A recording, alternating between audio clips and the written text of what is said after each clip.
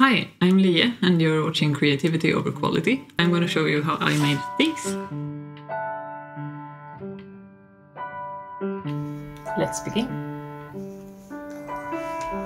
So I started off by cutting out their pieces. I think it will always feel weird to draw on leather with a ballpoint pen, but it will be fine since we will stitch together the pieces with the right sides facing each other. You can find this pattern and others for free at our Patreon page. So you should check that out if you would like to make any of the things we do.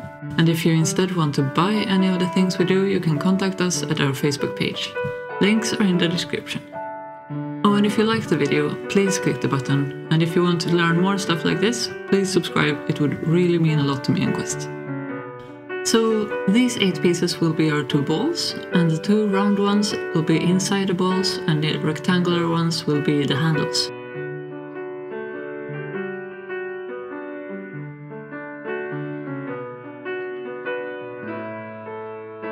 Very strong, so I'm really no expert at cutting through the thick leather, but movie magic makes it look easier. I was really tired after this though. Uh, in the middle of those four pieces. Yeah. Uh, with this one.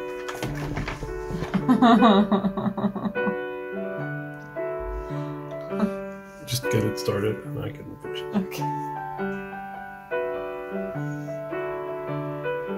Nope. Use a strong friend or something. You can of course use a hole punch and a hammer if you don't have access to an extremely strong person.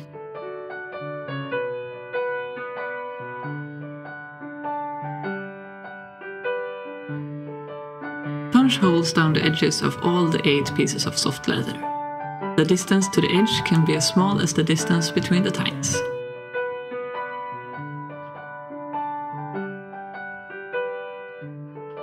Punch holes down the short edges of the rectangular pieces.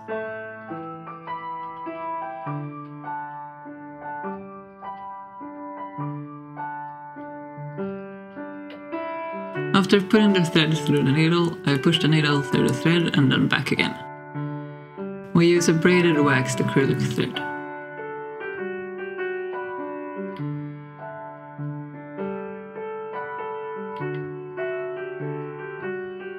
If you missed it, I will show it to you again, but out of focus. Sorry about that.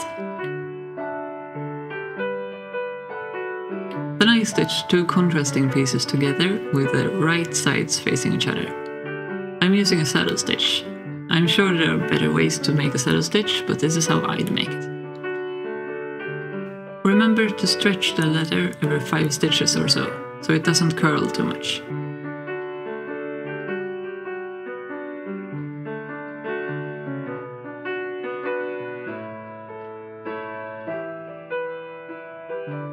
Stitch all the way up, but save the last hole for later. Then fasten the threads with a knot of your choice. I have no idea what knot I'm doing here.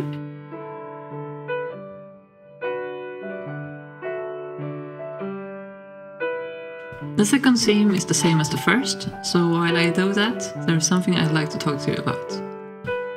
So making this video is rather scary for me. I'm very self-conscious about how I look and sound, mainly because I rarely speak English and I feel like it sounds very bad when I do. But I am doing it, and since I am, I'm taking this opportunity to tell you to go do the scary thing as well. Well, not now, finish watching the video first, and then go do the scary thing. Okay?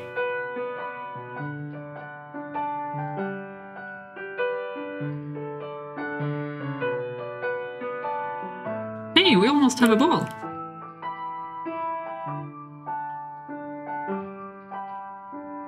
For some fabric.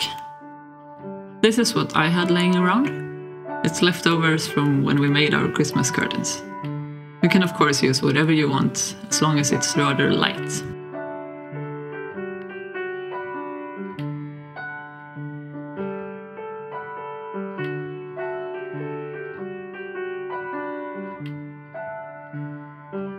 As you can see, this was pretty hard for me, but luckily I have my leather thimble. It really is the best thing ever.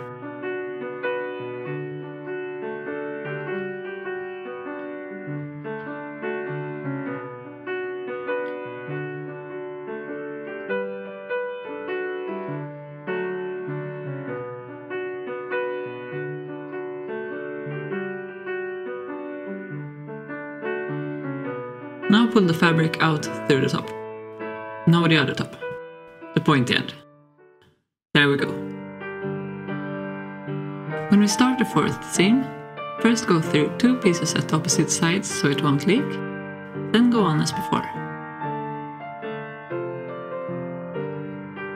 But only stitch about two thirds of the way up to make room to turn the project.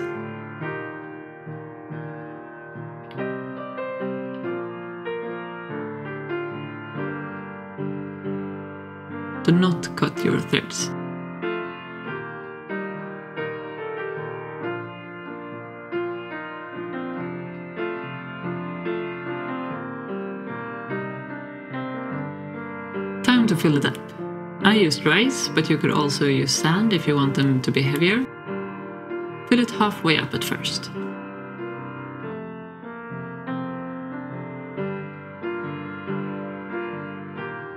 Then you take your paracord or shoelace or rope or whatever you get and burn the ends and make them pointy.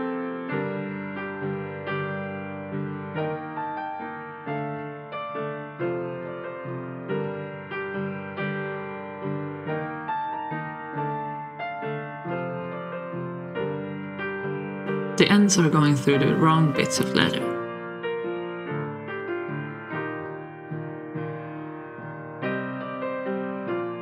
Then we make a stopper knot.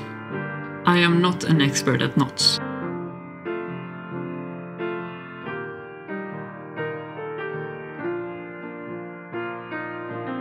Now, front or back? Who knows? I know I don't. Well, as we say, better to screw up than not screw at all, right?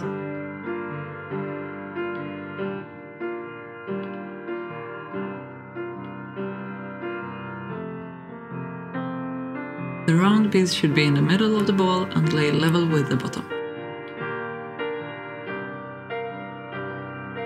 Then keep filling it up until you can't fit any more in there. When you do the other one, make sure they weigh the same. Mine were about 76 grams, but I think that heavier might have been better. I finished with a double lacing stitch.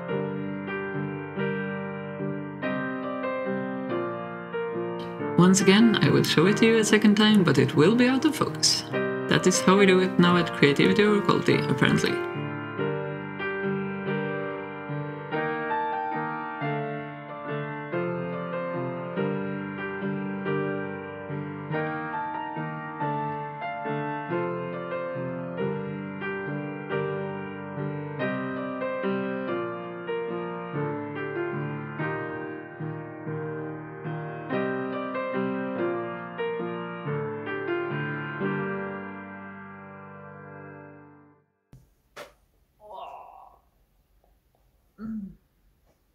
Since we will only do one stitch now, you can just run the thread through the needle.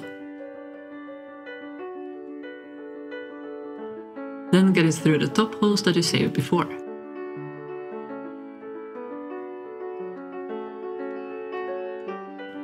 Leave about 10 centimeters of thread on the short side and make a loop.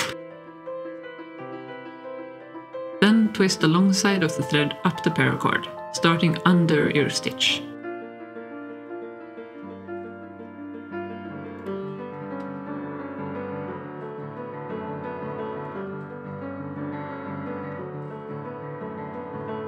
Thread the needle again and push it through the paracord.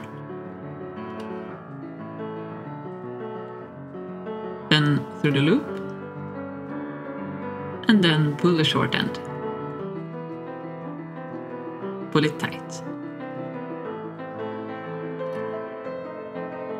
Cut the threads and burn the ends.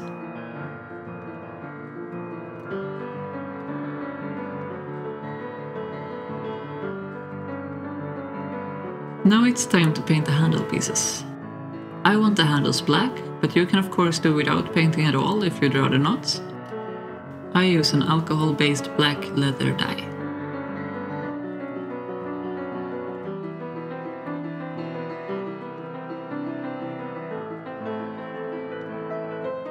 Alright, edge beveling. Bevel the edges before you paint.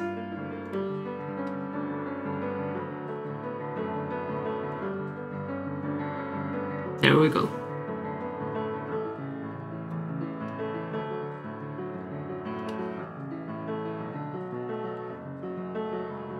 To prevent any cracks in the leather and make the stitching easier, I use leather fat.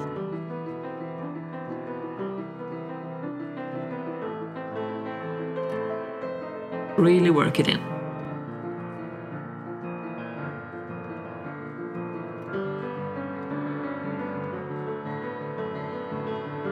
Decide how long you want your cords.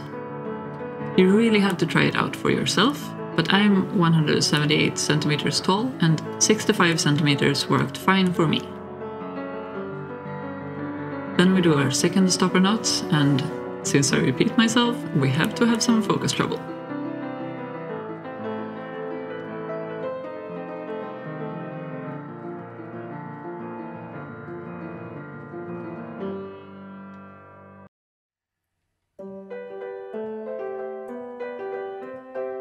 I'm gonna do a cross stitch, but this leather is still pretty hard, so first I'm gonna get my leather thimble. Go around the first holes a second time, and then do a cross stitch to the end.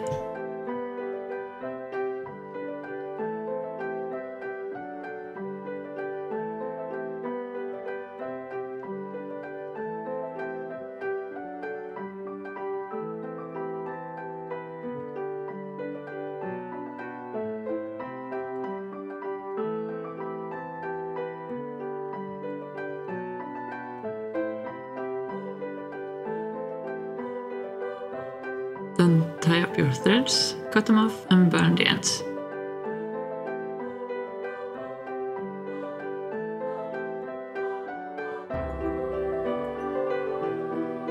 And we're done! Or so I thought. After practicing with them, I noticed the fabric slowed them down a lot, so I need to cut it diagonally. Well, diagonally enough.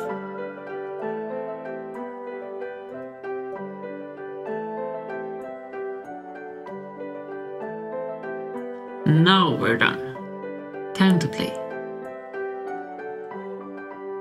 This is one of my favorite summer activities, and I haven't done it in a bunch of years, so I'm very excited to be able to do it again. As you can see, you don't have to be very good to have fun with it.